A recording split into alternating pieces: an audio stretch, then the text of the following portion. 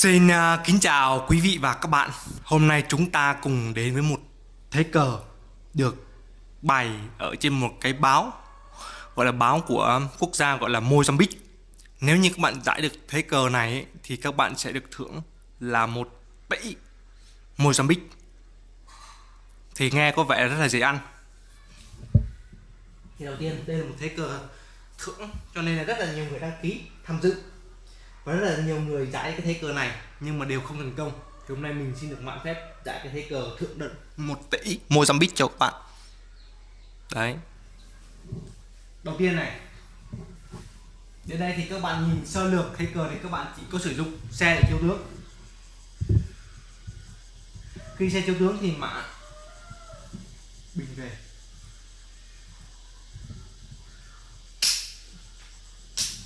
Chiếu tướng đến đây như các bạn thấy. Đến đây lại tiếp tục lấy tượng đỏ tiếp.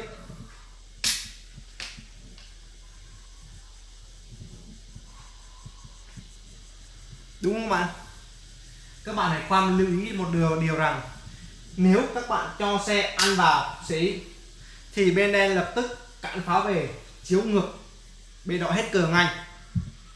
Đây gọi là tinh hoa của thế cờ Mozambique, quốc gia ở châu Phi vì vậy, các bạn sẽ không lấy xe ăn xỉ các bạn sẽ không lấy xe ăn xỉ mà các bạn sẽ sử dụng pháo.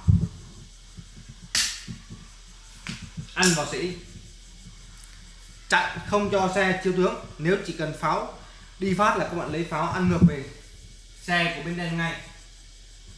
Vì vậy đến đây bên đen là có một cái nước rất là hay, đấy là bình tốt qua, để mà chặn lại. Mình nhầm các bạn hai con tốt này nằm ở vị trí này. Đến đây thì bên đó là tiếp tục chiếu tướng. Đen rồi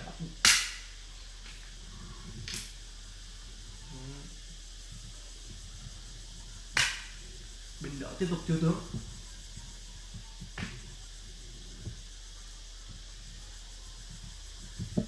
Đỏ lại tiếp tục chiếu tướng.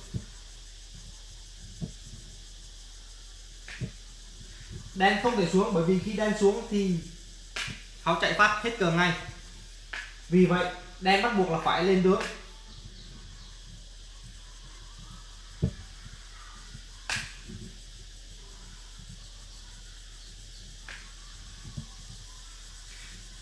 đến đây thì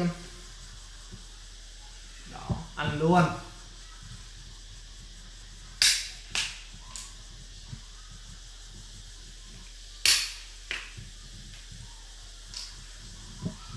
Tình hình nguy cấp cho bên đỏ khi bên đen lại còn một cơ số tốt đang hiện hữu.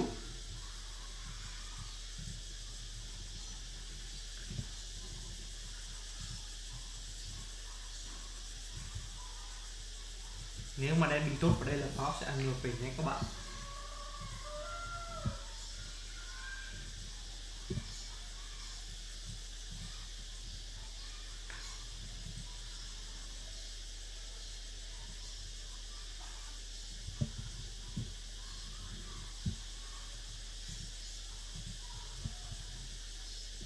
Chưa tướng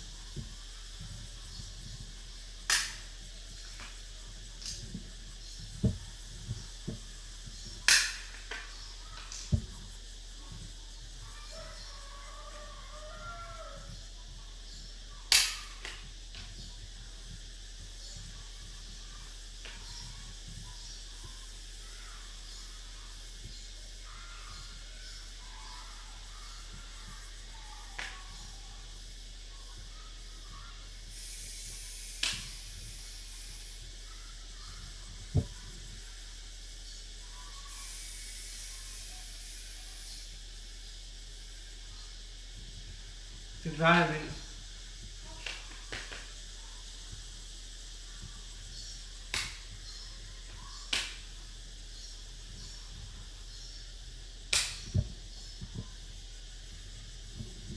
đến đây thì um, sách cổ có để lại cho chúng ta đấy chính là đỏ thắng.